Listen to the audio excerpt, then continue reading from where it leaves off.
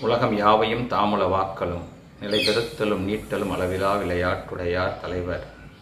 அவர் அறத்தின் நாயகனாக ராமபிரான் திருவடிகளே சரணம். அறத்தை காவியமாக ஆக்கிய கம்பன் திருவடிகளை போற்றி பணிகின்றோம். கம்பராமாயணம் தமிழனுடைய சொத்து. வாழ்வாங்கு வாழ்வதற்கான அறத்தை எல்லா நிலைகளிலிருந்து சொல்லித் தருகின்ற ஒரு பாடநூல் கூட சொல்லலாம். கற்க வேண்டிய மிகச்சிறந்த நூல்களில் நம்ம சமுதாயம் இழந்துவிட்ட ஒரு பொக்கிஷம் கம்பராமாயணம். எப்படியாவது இந்த கம்பராமாயணத்தினுடைய இந்த அறத்தையும் அதில் சொல்லப்பட்ட நுட்பமான வாழ்வியல் கோட்பாடையும் மீட்டிட மாட்டோமா அப்படிங்கிற முயற்சி இன்றைக்கி எத்தனையோ தமிழ் சான்றோர்களும் ஆன்றோர்களும் பெருமுயற்சி எடுத்து செய்கிறாங்க அவர்கள் செய்த முயற்சியில் கொஞ்சம் இப்படி கேட்டு அவற்றை நாமளும் வெளிப்படுத்திட மாட்டோமா அப்படிங்கிற அந்த ஆதங்கம்தான் தினம் ஒரு கம்பராமாயணம் என்கின்ற இந்த நினைவு இந்த சிந்தனை. இன்றைக்கி நான் கம்பராமாயணத்தில் பார்க்க போகிறது அயோத்தியா காண்டம் திருவடி சுட்டு படலம் அதில் பரதன் தன் அயோத்தி மக்களோட போர் படையோட தன் மூன்று தாய்மார்களோட வழியில் தான் சந்திக்கிற குகன் அவனுடைய படையோட எல்லாரையும் அழைத்துட்டு வந்து மிக உயர்ந்த அரச மரியாதையோட மறுபடியும் தன் அண்ணன் ராமரை அயோத்திக்கு நாடால் அழைத்துட்டு போகணும் அப்படிங்கிற எண்ணத்தோட வரான். தன்னுடைய எண்ணத்தையும் ஏன் வந்தேங்கிற எண்ணத்தையும் சொல்கிறான் இப்போ அதுக்கு ராமர் பரதனுக்கு மறுப்புரை அப்படிங்கிறத விட மிக உயர்ந்த ஒரு அறவுரையை பரதனுக்கு இப்போ ஒரு பாடமாக நடத்த போகிறாரு இந்த ராமரனுடைய உரையை படிக்காத வரைக்கும் நாம் கூட பரதனுடைய அந்த அறம் பரதனுடைய அந்த வாழ்க்கை ஏன் ராமரே சொல்லுவார் பரதன் யார் அப்படின்னா தர்மத்தினுடைய தேவன் அப்படின்னுவார். செம்மையினுடைய ஆணி அப்படின்பாரு அப்படிப்பட்ட அந்த பரதனுடைய அவன் கடைபிடிக்கக்கூடிய ஒரு அறம்ங்கிறது தனி மனித அறம். பல நேரங்களில் சில வழக்குகளும் சில இந்த மாதிரி தர்ம சங்கடம் தர்மத்திற்கே சிக்கல் வரக்கூடிய சூழலில் ஒவ்வொரு தனி மனிதனுடைய அறமும் மாறுபட்டு நிற்கும். இன்றைக்கி நீதிமன்றங்களில் எல்லா வழக்குகளையும் இதான் சிக்கல். வாதியினுடைய தனி மனித அறத்தையும் பிரதிவாதியினுடைய தனி மனித அறத்தையும் பார்த்தீங்கன்னா அவர்களுக்கு தனியாக பார்த்தா அந்த தனி மனித அறம் முழுமையாக சரி என்பது தான் உண்மையாக தோன்றும். அப்படி தான் பரதன் பேசுகின்றது. பரதன் பின்னாடியே நம்ம பயணிக்கும்போது ராமர் அவளுக்கு இப்போ பதில் சொல்லாத வரைக்கும் ராமர் பரதனுடைய அந்த தனி மனித அறத்தை பார்த்தோம்னா உயர்ந்து போய் நிற்போம். அப்படிப்பட்ட உயர்ந்த அறமாக தான் பாதுகாக்கப்படும் சொல்லப்படும்.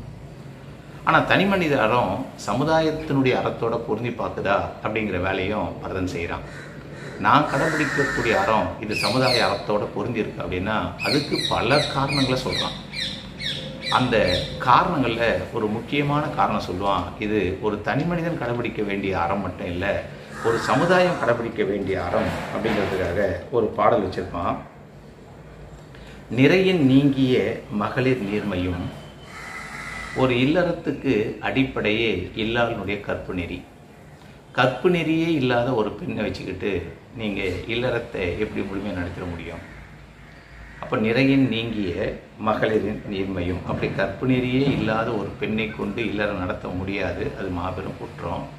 அப்படிப்பட்ட ஒரு சமுதாயம் புறையின் நீங்கிய தவமும் தவம்னாலே பொறியடக்கம் புலனடக்கம் மண்ணடக்கம் இது இல்லாதவன் தவம் செய்த எப்படி இருக்கும்? பொருந்தாத தவம் அப்படி போன்றதும் பொங்கு அருள் துறையின் நீங்கிய அறம் மிகச்சிறந்த அறத்தின் வழியாக வாழ வாழுகின்ற அருளாளர்களாக இல்லாதவர்களை எப்படி அறத்தின் வழியாக வாழ சொல்ல முடியும்? அப்போ உண்மையான அறம்ங்கிறது அவர்கள் வழியாக பொங்கி வருகின்ற அருள் தான் அறம். அந்தன என்போன் அறவோன் எவ்வுயிருக்கும் செந்தன்மை பூண்டொழுகலாம். அப்படி அருளே இல்லாத ஒருத்தனை அறவோன்னு சொல்லுவதும் இதெல்லாம் குற்றம். ஆனால் இந்த குற்றத்தோட இதெல்லாம் சமுதாய குற்றம் சமுதாய தர்மம் இல்லை. அது போன்றது தான் தொன்று தொட்டு கடைபிடித்து வரக்கூடிய அரசை முடிசூடுகின்ற தொன்மையான மரபுன்னு ஒன்று இருக்குது அது குளத்தில் மூத்தவன் இருக்கும்போது இளையவன் முடிசூடுகின்ற சமுதாய அறம் எப்படின்னா இப்படி முறை தவறி ஒரு பெண்ணை கொண்டு இல்லறம் நடத்துவதும் புலநடக்கமே இல்லாத ஒருத்தன் தவம் செய்வதும் அருளே இல்லாத ஒருத்தன் அறத்துக்கு சொந்தக்காரன்னு சொல்கிறதும் எப்படி இருக்குன்னா தொன்று தொட்டு கடைபிடித்து வரக்கூடிய ஒரு முறைமையை மாற்றி மூத்தவர் இருக்க இளையவர் சபை ஏறுவது என்பது ஏற்புடையதில்லை. அதனால் நான் அரசவை ஏறுவது என்பது எனக்கு உகந்ததல்ல. தனிப்பட்ட முறையில் அவன் யோசிச்சு பார்க்குறான். அது தனி மனிதனுடைய அறம் இல்லை. சமுதாயத்தோட பொருந்தி பார்க்குறான். சமுதாய அறமும் இல்லை. அதனால் அண்ணனை கூட்டு போய் அழைச்சும் போய் மறுபடியும் இந்த சீட்டில் உட்கார வைப்பேன். இல்லைனா நான் காட்டுக்கு போயிடுவேன். ரொம்ப வற்புறுத்தினீங்கன்னா செத்து போயிடுவோங்கிறான். இப்படிப்பட்ட தனி மனித அறத்தையும் சமுதாய அறத்தையும் சாம் சரியாக கடைபிடிக்கிறோங்கிற எண்ணத்தோடு தான் பரதன் யாருடைய பேச்சும் எடுத்துக்கல. அறிவில் மிகுந்த சான்றோரான வசிஷ்டர் எவ்வளோ சொல்கிறார் முடியாது. அவனை சுற்றி இருக்க மந்திரிமார்கள்லாம் சொல்கிறாங்க முடியாது.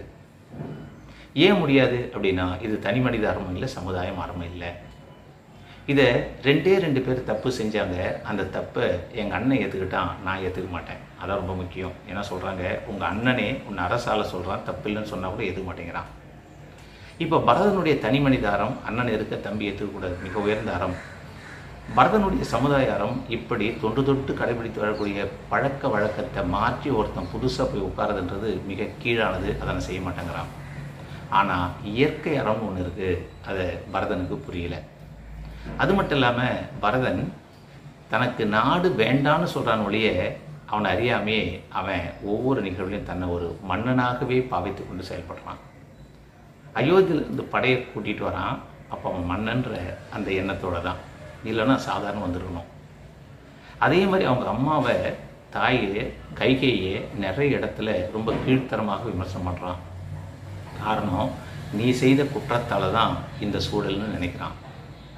இதுக்கெல்லாம் காரணம் இயற்கை அறங்கிற ஒரு முக்கியமான இயற்கையினுடைய அறத்தை அவன் புரிந்து கொள்ளவே இல்லை. நாடு வேணாங்கிறான் ஆனால் நாட்டினுடைய மன்னன் செய்ய வேண்டிய வேலையை எல்லாத்தையும் செய்கிறான் அயோத்தியிலேருந்து படையை கூட்டிகிட்டு வரான். குகனை பார்த்தோன்னே தான் ஒரு மன்னங்கிற எண்ணத்தோட சக்கரவர்த்தியோடு வரான். ஏன்? பின்னாடி சொல்ல போகிறான் அவங்க அண்ணங்களை. நான் தான் மன்னன்னா அப்போ நான் சொல்கிறேன் நீ நாடு எடுத்துக்க அப்படிங்கிறான். அப்போ தான் கடைபிடிக்க வேண்டிய தனி அறம் மிக உயர்ந்தது. சமுதாய அறம் சரியாக இருக்கலாம். ஆனால் அது இயற்கை அறையோட இய- இயற்கை அறத்தோட பொருந்தி வருமானு தெரியணும். ரெண்டாவது நாம் ஒரு தர்மத்தையோ ஒரு வழக்கிலையோ ஒரு சிக்கல்லையோ நாம் அந்த சிக்கலை சார்ந்து பேசணும் அப்படின்னா அந்த சிக்கலில் தொடர்புடைய அறத்தின் நாயகனான ராமனுடைய கருத்தை அவன் கேட்க கூட தயாராக இல்லை. தன்னுடைய நியாயத்தை சொல்லும்போதே தீர்ப்பையும் சேர்த்து சொல்கிறான் அதை சொல்கிறான் தந்தையின் தீமையும். யாருமே ஏற்றுக்கொள்ள முடியாத தீவினை தாயின் செய் தீமையும். நீ நினைத்தா மாற்ற முடியும். அதனால் தயவு செஞ்சு வந்து அரசவை ஏற்றுக்க அப்படிங்கிறான் இப்போ அங்கே நடந்த சூழலில் தன்னுடைய அறம் சரி சமுதாயத்தோட பொருதி பார்க்குற அறம் சரி ஆனால் ராமரனுடைய அறம் என்னன்னு அவன் பார்க்கவே இல்லை. இது உண்மையிலே இந்த இயற்கை அறம் என்னங்கிறத அவன் புரிஞ்சுக்கவே இல்லை. இயற்கை அறத்தையும் தாண்டி தான் சொல்வது தான் சரி அதனால் அதுக்கு ஒரு தீர்ப்பை எழுதி அந்த தீர்ப்பை எடுத்துன்னு வந்து அண்ணங்களை வாசிக்கிறான். தீர்ப்பை எழுதிட்டு எங்கள் அண்ணன் அழைச்சிட்டு போகணும் வரான். இதில் பாதிக்கப்பட்ட அல்லது இதோட தொடர்புடைய இன்னொருத்தருடைய மனநிலையோ அவருடைய கருத்தையோ அவருடைய எண்ணத்தை என்னன்னு கூட அவன் கேட்கல அது கேட்கறதுக்கு முன்னாடி முடிவு எடுத்துடுறான். எங்கள் அண்ணனை போய் அரசு மரியாதையோடு கூட்டிகிட்டு வருவேன்னு முடிவெடுத்து தான் மன்னனுங்கிற ஒரு எண்ணத்தோட அவன் என்ன நினைக்கிறானோ அதை செயல்படுத்த முடியும். அப்படி தான் செயல்படுத்தி எல்லாரையும் அழைச்சிட்டு வரான்.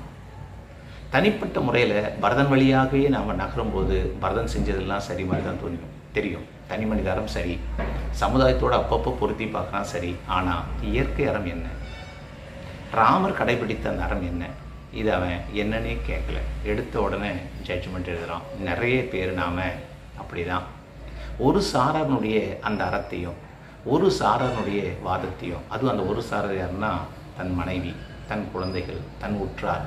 இவர்களுக்கு ஏற்படுகின்ற அந்த பாதிப்புகளையும் அதை மட்டுமே மனதில் சொந்த மனதில் வச்சுக்கிட்டு தன்னுடைய அறத்தையும் தன் சமூகத்துக்கு ஏற்பட்ட இந்த தீங்குகளுக்கெல்லாம் பொருத்தி சமுதாய அறமும் சரியாக இருப்பதாக நினைத்து தான் எதிராளியினுடைய அவனுடைய அறமும் அவனுடைய சமுதாய அறமும் என்னன்னு கூட கேட்க தயாராக இல்லாமல் வழக்கு தொடுப்பதில்லை வழக்கு தொடுக்கிற அன்னைக்கு தீர்ப்பு எழுதியதுக்கு வந்து சார் இதான் சார் வழக்கு இதான் ஜட்ஜ்மெண்ட்டு இதை நீங்கள் வாங்கி கொடுங்க. அப்படின்னு தான் இன்றைக்கி ஒவ்வொரு தனிநபரும் நீதிமன்றம் போய் அழுகிறாங்க.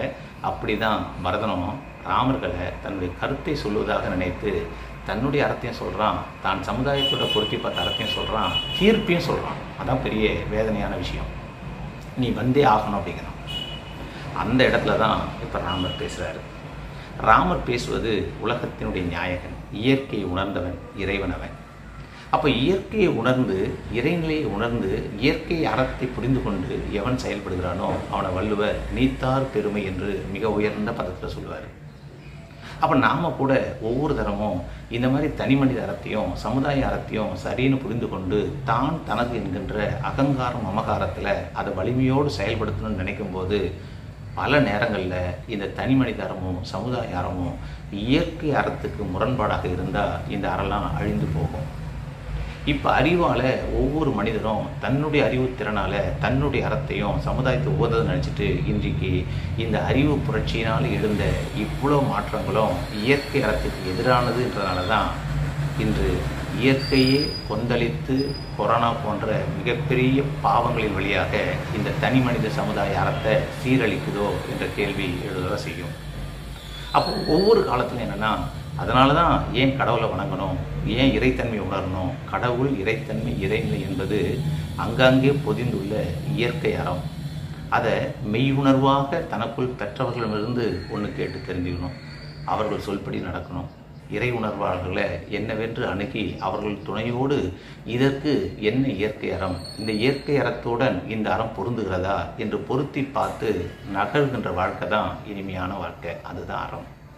இந்த மிகப்பெரிய நுட்பமான பாடத்தை தான் இப்போ கம்பர் இங்கே நமக்கு பாடம் நடத்துகிறாரு ராமர் வழியா அப்போ தனி மனித அறம் சமுதாய அறத்தில் ஓங்கி நிற்கும் பரதன் அதை நடத்தியே தீர்வுங்கிற தீர்ப்பு எழுதி வந்து தான் தனது என்கின்ற அரசு வேணான்னு சொன்னாலும் கிட்டத்தட்ட அரசனாகவே முடிவெடுத்து அதை எக்ஸிக்யூட் பண்ணக்கூடிய இடத்துல வந்து பரதன் நிற்கிறான் இப்போ ராமர் பேசுகிறாரு அங்கே தான் பொக்கிஷம். நூற்றி ஆறாவது பாடலில் ராமர் சொல்கிறாரு பரவு வேள்வியும் மிக உயர்ந்த ஞானத்தை பெற்ற ஆன்றோர்களுடைய அந்த கேள்வி ஞானத்தை எவ்வளோ பெரிய புத்தகத்தில் படித்திருந்தாலும் பரந்த கேள்வியும் பழுதில்லாத ஞானமும் உலகத்திலே இதுக்கு விட சிறந்தது ஒன்று இல்லைன்னு சொல்கிற அப்படிப்பட்ட உயர்ந்த ஞானம் இருந்தாலும் விரவிய சீலமும் க சரியாக கடைபிடிக்க வேண்டிய ஒழுக்க நெறியும் வினையின் மேன்மையும் துல்லியமாக தெளிந்த நல்ல அறிவோடு செய்யப்படுகின்ற செயலும் தொழத்தக்க தேவரும் நீ உலகத்திலே நான் வழி வழிபடுவதற்கு என்னுடைய இறைவன் சிவபெருமான் விஷ்ணு அப்படி எப்படிப்பட்ட தேவராக இருந்தால் கூட இவர்கள் எல்லாமே தாய் தந்தையருக்கு பின்னாடி தாங்கிறார் இதை மட்டும் நீ மறந்துட்டு மற்றதெல்லாம் மனசில் வச்சுக்கிட்ட. அப்போ மிக உயர்ந்த தனி மனிதரும் சமுதாயமும் இப்படி என்னென்ன பேசுகிறியோ இதெல்லாம் சரிப்பா. ஆனால் இது எல்லாத்தையும் தாண்டி முக்கியமான ஒரு விஷயத்தை நீ மறந்துட்ட. அது என்ன தெரியுமா? இப்படிப்பட்ட ஸோ ஞானமும் கேள்வியும் ஞானமும் சீலமும் வினையின் மேன்மையும் தொழத்தக்க தேவரும் இவை எல்லாவற்றிற்கும் மேலே உரிய தேவரும் யார் அப்படின்னா குறவரே. அப்போ உயர்ந்த கேள்வி ஞானம் நீ எதுன்னு உயர்வு நினைக்கிறியோ அது தாய் தந்தையர். பழுதில்லாத ஞானம் எதுன்னு கேட்டினா அது தாய் தந்தையர். மிக உயர்ந்த சீலம் என்கின்ற ஒழுக்கம் எதுனா தாய் தந்தையரை முழுமையாக ஏற்றுக்கொள்ளுதல். வினையின் மேன்மை என்னன்னா தாய் தந்தையினுடைய அறிவை புரிந்து கொண்டு தெளிவாக அவர்களோடு ஒன்று இணைதல். இதை மனசில் வைத்து கொள்ளாததுனால இவ்வளோ விபரீதம் உனக்குள்ளே ஏற்பட்டிருக்கு. அப்போ இயற்கையான அறம் என்னன்னா தாய் தந்தையரை மீறி தன்னுடைய அறிவால் செய்கின்ற செயல் சரின்னு நினைச்ச அந்த பரதனுடைய ஆணி பேரை அஸ்திவாரத்தை அசைக்கிறார். எல்லாம் சரிப்பா தாய் தந்தையர் தான் இங்கே முதல். நீ தாய் தந்தையரையே குற்றம் சொல்கிறியே அவ்வளோ பெரிய உயர்ந்தவனா நீ? அப்படியே ஒரு வினாடி எல்லாரையும் இப்படி சிந்திக்க வைக்குது. அவ்வளோதான் ராமர் கேட்குறாரு. அவ்வளோ பெரிய ஆளா நீ? தந்தை செய்தது குற்றங்கிற தீவினை தாயின்னு ரொம்ப அபத்தமாக உன்னுடைய தாயை பற்றி பேசுகிற இதுக்கு பின்னாடி உள்ள இயற்கை அறம் எதுவுமே உனக்கு தெரியல. அந்த இயற்கை அறங்கிறது தாய் தந்தையர் மூலமாக நமக்கு வந்து செயல்படும். பல நேரங்களில் அந்த இயற்கை ஏறம் தாய் தந்தையின் வழியாக நமக்கு நன்மையை செய்யும் தீமையை செய்யும். ஆனால் இயற்கை ஏறம் பொருந்தாத அறம் கிடையாது. அப்படி இங்கே என்ன நடந்தது அப்படின்னா தசரதன் ஏற்கனவே ஒரு மானை கருவு கருவுற்ற ஒரு மானை தன் அம்பினால் அடித்ததுனால சாபம் பெற்றான். பிள்ளை சாப புள்ள பசத்தால் சாகணும் தசரதன் ஏற்கனவே ஒரு சிக்கல் இருக்கும்போது கொஞ்சம் கூட சிந்திக்காமல் என்னன்னே யோசிக்காமல் கைகேயி உனக்கு பிறக்கும் குழந்தைக்கு தான் இந்த நாடு ஆளும் தகுதி நாடு ஆள முன்னுரிமை தரப்படும்னு வரத்தை கொடுக்குறான். நிறைமொழி மாந்த பெருமை நிலைத்து மறைமொழி காட்டிவிடும்னா அப்படிப்பட்ட உணர்வு நிலையில் இறைநிலையோடு பொருந்தி ஒரு வரம் கொடுத்தா அந்த வரம் அது இயற்கை அறம் அது நடந்தே தீரும். அப்போ இது மட்டும் பரதம் ஒரு வினாடி யோசிச்சிருந்தான்னா இதுக்கு காரணம் அப்பா இல்லை இதுக்கு காரணம் அம்மா இல்லை இதுக்கு காரணம் இயற்கை என்கின்ற ஊழ்வினை என்கின்ற அறம் ஒரு வினாடி புரிஞ்சிருந்தான்னா இவன் இவ்வளோ பெரிய தனி மனித அறத்தையும் சமுதாய அறத்தையும் குழப்பிக்கிட்டு தன்னை முன்னிலைப்படுத்தி தாய் தந்தையரை இவ்வளோ அசிங்கப்படுத்த மாட்டாங்க. அவ்வளோ அசிங்கப்படுத்துகிறான் அவங்க அப்பாவை இப்படி ஒரு மோசமான வரத்தை நீ கொடுத்தியே அப்படிங்கிறான். அவங்க அம்மாவை இவ்வளோ கேவலமான ஒரு வரத்தை நீ வாங்கலாமா? இதெல்லாம் ராமர் மீது கொண்ட அன்பினால் செஞ்சிருந்தா கூட அன்பினால் இவன் இப்படி தாய் தந்தையை குற்றம் சொன்னால் கூட அதற்கு உரிய பதில் என்னன்னா இயற்கை அறத்துக்கு எதிராக தனி மனித அறமும் சமுதாய அறமும் நிற்காது அழிந்து போகும். அதனால் பரதன் எப்படி நாடாண்டான்றது முக்கியம் இல்லை. ஆனால் பதினாலு ஆண்டு காலம் பரதன் தான் நாடாள வேண்டியது தான் வரம் அதான் பழிக்குது. ராமர் புத்திர சோகத்தால் இறக்க வேண்டும் என்பது வரம் அதனால் அது பலிக்குது அதற்கு காரணமாக மந்தாரையும் கைகையும் இருந்தாங்க வெளியே இப்படி ராமனாக ராமராகிய மூல பரம்பொருளுக்கு இயற்கையினுடைய அறத்தை புரிஞ்சிட்டனால அவனுக்கு ஒரு வினாடி கூட ஒரு துளி கூட கைகை மேலே வருத்தமோ கோபமோ இல்லை. உண்மையிலேயே கைகை மேலே வருத்தமும் கோபம் பட்டிருந்தா அது ப ராமர் தான் பட்டிருக்கணும். ஆனால் ராமர் ரொம்ப மகிழ்ச்சி அதை ஏற்றுக்கிறார் அவருக்கு புரியுது. இயற்கை அறத்துக்கு உட்பட்டு தான் எல்லா தனி மனித அறமும் சமுதாய அறமும் இருக்கும் வழியே இயற்கை அறத்தை எதிர்த்தோ இயற்கை அறத்தை மிஞ்சியோ ஒரு அறம் இல்லை. அதனால தான் இறைநிலைன்னா என்ன இறைவன்னா என்ன ஏன் புரிந்து கொள்ள வேண்டும்னா இறைநிலை என்பதும் இறைவன் என்பதும் இயற்கையினுடைய அறம்தான். அதை இயற்கை உணர்வோடு வாழ்ந்தவர்களோட அவர்களுடைய வாயிலாக இப்படி கம்பராமாயணம் திருவள்ளுவர் இந்த திருக்குறள் வழியாக கேட்டு அதன் வழியாக நிற்பதற்கு முயல வேண்டும் ஒழிய என்னுடைய அறம் என் சமுதாயத்தினுடைய அறம் சொல்லிட்டு தான் தனது என்கின்ற அந்த ஆணவத்தோட இப்படி பரதனாக தெரியக்கூடாதுங்கிறது தான் மிகப்பெரிய பொக்கிஷமான அறநெறி. அப்படிதான் இப்போ அந்த சூழல்ல ராமர் பரதனுக்கு சொல்லுகின்ற அடுத்த பாடல் தாய் வரம் கொட தந்தை ஏவலால் மேய நம்குல தருமம் ஏவினேன். நீ வரம் குல தவிர்தல் நீர்மையோ? ஆய் வரும் புலத்து அறிவு மேவினாய். தாய் ஒரு வரம் கேட்டாங்க. அந்த வரம் அவங்க கேட்கல. ஏற்கனவே தசரதன் கொடுத்தது. தசரதன் அந்த வரத்தை சப்போஸ் அந்த வரத்தின்படியாக பரதன் வந்து உட்காரலன்னா மிகப்பெரிய பாவத்தை தசரதன் அனுபவிச்சிருப்பான். அந்த பாவத்துக்கு அளவே கிடையாது. அதை ராமர் இன்னொரு இடத்துல சொல்லுவார். இப்படி நான் காட்டுக்கு வந்து அப்பாவு செய்ய வேண்டிய அந்த வரத்தை மட்டும் நான் கடைபிடிக்கலனா அப்பா நரகத்தில் இருப்பார். நான் வேணால் இங்கே ஆனந்தமாக சொர்க்கத்தில் வாழ்க்கை வாழலாம். அப்படி என் அப்பாவை நரகத்தில் கொண்டு போய் சேர்க்கக்கூடிய பாவ செயலை நான் செய்வேனா? ஏன்னா வரம் கொடுத்தது தசரதன் நிறைவேற்ற வேண்டியது தசரதனுடைய கடமை. அந்த திச தசரதன் கொடுத்த வரத்தில் தெரிந்தோ தெரியாமலோ அதில் உள்ள ஊழ்வினையால் மாட்டிக்கொண்டது ராமர். ராமர் முதல் மகனாக பிறப்பார்னு தசரது தெரியாது. ஆனால் கைகேயினுடைய மகன் தான் அரசாழ்வான்னு சொன்னது அது அவருடைய ஊழ்வினை. அதனால் வரம் கொடுத்தது தசரதன் இங்கே கைகேயி அப்போ போய் நீ கொடுத்த நீ ஒரு வரம் கொடுன்னு கேட்டு வாங்கலை. நீ ஏற்கனவே கொடுத்த வரம் அந்த வரத்தை நினைவுபடுத்துகிறாங்க சொன்னியே இந்த வரத்தை நீ நிறைவேற்றலைன்னா மாபெரும் பாவத்தை நீ அனுபவிப்பாய்.